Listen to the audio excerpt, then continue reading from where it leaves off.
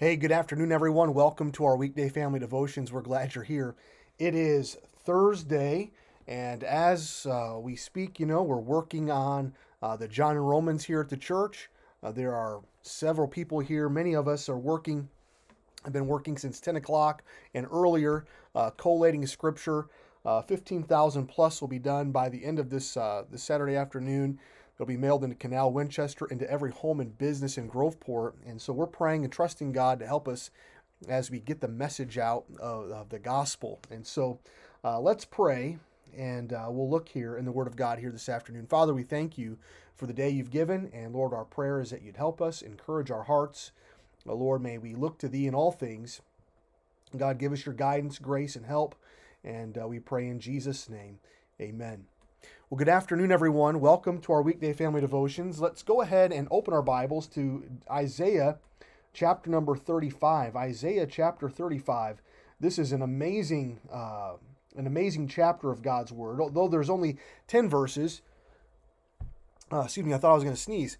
Uh, though there's only 10 verses of Scripture here, it speaks concerning uh, the coming kingdom of Christ and uh, how how Israel will be will be ransomed and I mean, there are there are promises. Look at what he says in verse three. Says, "Strengthen ye the weak hands, and con, um, and confirm the feeble knees. Uh, say to them that are of a of a fearful heart, Be strong, fear not. Behold, uh, behold your God will come with ven- with vengeance." even God with a with a recompense, He will come and save you. Aren't you thankful uh, for that promise? He is coming to save His people.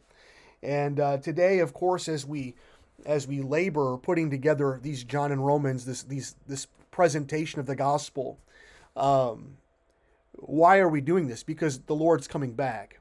He's coming back uh, to redeem His purchased possession, and and our prayer is that many will be saved as a result of the Word of God going forth uh, from this local church. But uh, we're thankful that we have the promise of the coming Savior. Uh, the next time uh, the Lord comes, he's not going to have to die.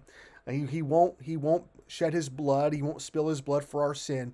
Oh no, he's coming uh, to rule and reign uh, with with might and with power, and he's coming for his children. And I want to encourage you today. If you don't know the Lord as your Savior, I want to I want you to realize that God loves you. I want you to know that the Bible says that God loved the world so much that He gave His only begotten Son whosoever believeth in him should not perish but have everlasting life because you and I are sinners. We could not get to heaven on our own. The Bible says, For all have sinned and come short of the glory of God, and that the wages of sin is death, but the gift of God is eternal life through Jesus Christ our Lord. And in order to obtain salvation, it's not by works of righteousness which we have done, but according to his mercy that he saved us. And the Bible says, For whosoever shall call upon the name of the Lord shall be saved.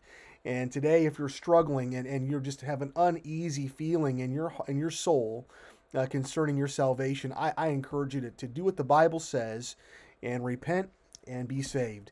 And to turn to the Lord, turn from sin, turn from self effort, and trust completely uh, in the finished work of Jesus Christ because He's coming again. Your God will come with vengeance, even God with a recompense. He will come and save you. Father, we're thankful for the day you've given. And Lord, our prayer is that you'd help us live in light of your return. Uh, Lord, we pray for those we know and love who uh, who may not know where they'd spend eternity. Lord, we pray that they would turn to Christ today. But Father, we ask that you meet with us. Lord, use us for your glory. Help these John and Romans as they're published from this place. God, we ask that they would go forth with your power and uh, save the lost. We pray in Jesus' name. Amen. Well, thank you for joining us. Lord willing, we'll see you back here tomorrow at noon. Don't forget, we're working again tomorrow on these John and Romans beginning at 10 a.m. Lunch is provided by the church, and we'll have a great time of fellowship along the way. God bless you. Have a great day. Bye bye.